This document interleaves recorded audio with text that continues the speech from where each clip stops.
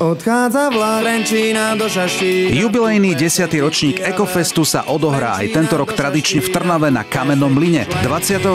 júna prinesie ohromujúcu oslavu 25. narodenín kapely Horkýže Slíže.